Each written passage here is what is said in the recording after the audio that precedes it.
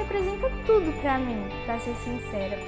Uma superação de grandes dificuldades e grandes problemas. Algo muito importante, porque foi através dela que eu descobri um hobby e foi influência dos meus avós, dos meus tios. É, demonstrar todas as minhas emoções quando eu estou feliz, eu ligo o som bem alto, com uma música bem bombante. Porque eu passei por uma crise de depressão uns anos atrás e foi a música que me tirou desse buraco. Na verdade, a Maico foi o segundo instrumento que eu tive, né? É, através dele eu comecei a estudar guitarra, né? Porque antes disso eu tive o violão, mas foi através da guitarra que eu comecei a me dedicar mais. E ela me ajudou a despertar essa vontade musical que eu tive desde muito cedo, né? Desde quando eu era criança. Eu devia ter, assim, uns sete anos quando meu avô me deu esse violão aqui. E ele comprou ele pra ele e usou muito tempo e depois ele me deu. Uh, e aí eu pedi aos meus pais para comprarem um violão para mim e minha avó mais do que depressa aproveitou essa oportunidade, porque era o sonho dela ver a neta tocando, porque ela sempre achou lindo mulher tocando o instrumento. O primeiro violão assim que eu tive para tocar profissionalmente foi esse Michael. Então, desde então ele faz parte da minha vida.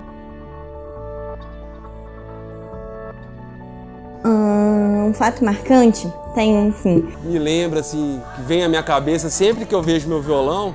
Assim, não é uma história muito minha. Ó, tem uma história que foi. que me deixou meio assustado, né? Foi uma vez que nós fomos tocar num festival, a gente estava tocando, estava tocando com a minha banda, aí do nada subiu um maluco meio bêbado no palco e pegou meu violão e derrubou ele no chão e quebrou o tampo. Eu tinha muita vergonha de tocar e a gente decidiu tocar na festa de família, no Natal.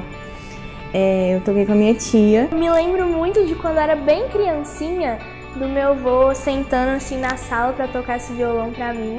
E o meu tio avô tocando sanfona. Eles ficavam assim a tarde inteira e eu ficava lá maravilhada, sabe? Vendo ele e pensando, nossa, eu quero tanto saber fazer isso um dia. E um dos meus amigos tá assim, eu quero ver essa guitarra, posso lá ver? Fui lá e pegaram, abriram a bag olharam a guitarra, mas não fecharam a bag, colocaram lá dentro.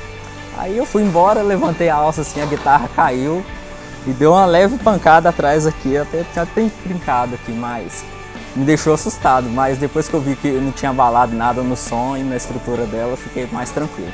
De repente eu vi que ele estava no chão com o tampo quebrado e a gente precisava terminar o show. A gente foi nos bastidores, passamos uma cola super bonda e passamos uma fita isolante e continuamos tocando, tocamos o show pra frente. Ah, eu sei qual é. Ah, você podia vir aqui, né, tia? Dar uma palhinha pro pessoal. Hoje era dia de eu estar nos bastidores, mas tudo bem.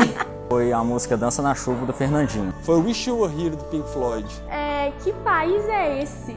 O legal é isso, porque a música ela aproxima gerações, ela traz sentimentos, desperta e eu sou suspeita para falar, né? Porque eu respiro música e acho que música é tudo mesmo, né? Vamos dar uma palhinha do que a gente tocou naquele Vamos dia? Lá. Você canta comigo? Canta.